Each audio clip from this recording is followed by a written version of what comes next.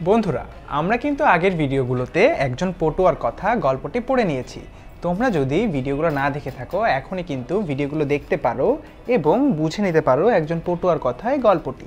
এবার চলো আমরা এই ভিডিওটিতে একজন পটুয়ার কথা গল্পটির বেশ কিছু শব্দের অর্থ জেনে নিই। চলো, আমরা এখানে দেখতে পাচ্ছি অনেকগুলো শব্দ, আমরা একটি একটি করে চলো দেখে নিই। আমরা কিন্তু প্রথমেই দেখতে পাচ্ছি ব্যায়াম শব্দটি, যার অর্থ কিন্তু স্বাস্থ্য রক্ষার জন্য পরিশ্রম। অর্থাৎ স্বাস্থ্য রক্ষার জন্য যে পরিশ্রম করা হয়, সেটিকে কিন্তু এক কথায় বলা হয় ব্যায়াম। তারপরে দেখো হইচই শব্দটি। হইচই শব্দটির অর্থ হই হই। এরপর আমরা দেখতে পাচ্ছি সেনা শাসক দেশের শাসক হিসেবে সেনাবাহিনীর কর্মকর্তা যিনি, তাকেই কিন্তু বলা হয় সেনা শাসক নকশা শব্দটির অর্থ রেখাচিত্র। মাদ্রাসা শব্দটির অর্থ কি? চলো দেখে নেই। মুসলমান ধর্ম ও সংস্কৃতি সংক্রান্ত উচ্চ শিক্ষা কেন্দ্র। অর্থাৎ মুসলমান ধর্ম সংস্কৃতি সংক্রান্ত উচ্চ শিক্ষা কেন্দ্রকে বলা হয় মাদ্রাসা। দানব শব্দটির অর্থ আমরা এখানে দেখতে পাচ্ছি বন্ধুরা, অসুর কিংবা দৈত্য। অর্থাৎ এখানে হইচই আসলেও শব্দটি কিন্তু হবে দানব এবং তার অর্থ অসুর কিংবা দৈত্য। কারখানা শব্দটি আমরা দেখতে পাচ্ছি বন্ধুরা, যার অর্থ যেখানে দ্রব্য সামগ্রী তৈরি করা হয়। অর্থাৎ যেখানে দ্রব্য সামগ্রী তৈরি করা হয়, সেটিকে বলা হয় এক কথায় কারখানা। ব্রতচারী শব্দটির অর্থ দেশ সেবায় যারা ব্রত পালন করেন। অর্থাৎ দেশ সেবা যারা ব্রত পালন করে, তারাই ব্রতচারী নামে পরিচিত। সততা শব্দটির অর্থ ন্যায়পরায়ণতা।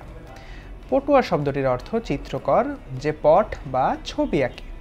অর্থাৎ যে পট বা ছবি আঁকে, তিনি হলেন পটুয়া।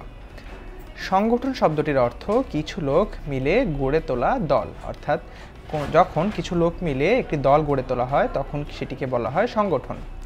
মুকুল ফৌজ শব্দটির অর্থ শিশু কিশোর সংগঠন। অর্থাৎ আমরা কিন্তু জানি আমরা কিন্তু জানি কামরুল হাসান, মুকুল ফৌজের, বন্ধুরা, আমরা কিন্তু গল্পটি পড়ে জানতে পেরেছি কামরুল কামরুল হাসান কিন্তু মুকুল ফৌজের নায়ক ছিলেন। তারপরে চলো আমরা দেখি কিশোর শব্দটির অর্থ কী। এগারো থেকে পনেরো বছর বয়সী ছেলেদেরকে বলা হয় কিশোর। তারপর আমরা নায়র শব্দটি দেখতে পাচ্ছি, বিবাহিতা নারীর বাপের বাড়ির গমনকে বলা হয় নায়র। নায়ক শব্দটির পরে দেখতে পাচ্ছি সবশেষে, যেটির অর্থ হচ্ছে নেতা কিংবা পরিচালক। তাহলে আমরা কিন্তু আজকে ভিডিওটিতে বেশ কিছু শব্দের অর্থ জেনে নিলাম। কোনো প্রশ্ন থাকলে আমাদেরকে কমেন্ট সেকশানে জানিয়ে দিও এবং পরবর্তী ভিডিওগুলো দেখে কিন্তু তোমরা অনুশীলনের আরও অনেকগুলো সমস্যার সমাধান নিজেরাও করতে পারবে এবং দেখে দেখে নিয়ে সহযোগিতা নিতে পারবে। কোনো প্রশ্ন থাকলে অবশ্যই কমেন্ট সেকশানে জানিয়ে দিও। ধন্যবাদ বন্ধুরা।